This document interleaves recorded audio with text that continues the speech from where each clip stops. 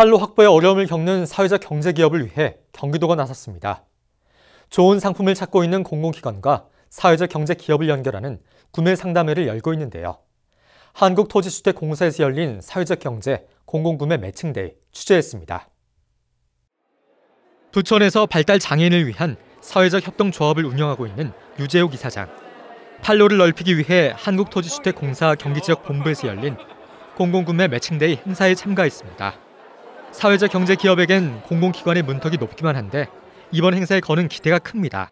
경기도에서 이런 자리를 마, 마련해 주시면 저희가 너무 좋은 장이 되는 것 같아요. 그래서 저희의 물건을 설명해 드리고 또 저희 물건이 어, 매출이 올라갈 수 있다고 생각하고 있습니다.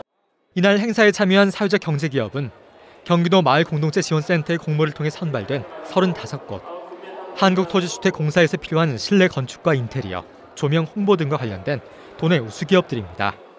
행사장에선 안정적인 구매처를 찾는 사회적 경제 기업과 필요한 상품을 구매하기 위한 공공기관과의 맞춤형 상담이 이루어졌습니다.